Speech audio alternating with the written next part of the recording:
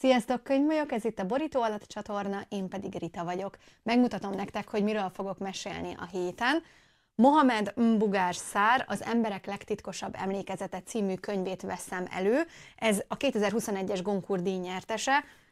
Ennyit jegyzeteltem benne, rengeteg mondani valója van, van közte nyomozás egy könyv után, van benne bevándorlásról, emigrációról szó, hogy hogyan érzik magukat Franciaországban, a szenegáliak például, van benne második világháborús, első világháborús történet, van benne egy csomó, csomó-csomó minden, amiről érdemes beszélni, úgyhogy tartsatok velem szerdán az ajánlóban és pénteken a kibeszélőben. Addig is legyetek jók, olvassatok sokat, sziasztok!